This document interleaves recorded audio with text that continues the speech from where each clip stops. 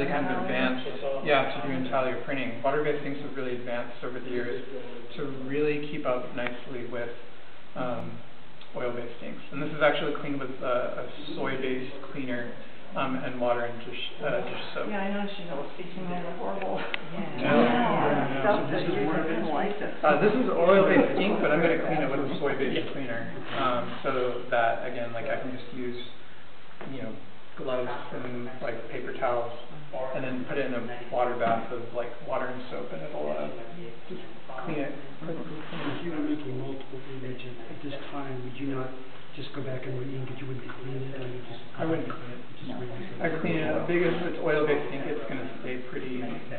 You know, I mean, if I walked away for a day, it may solidify a little bit. Yeah, or you know, things may collect in it, but you know, I could kind of keep going over and over and over. So when you're printing something like this, do you usually do multiple, Yeah, and in one session I can easily do about ten, it would be about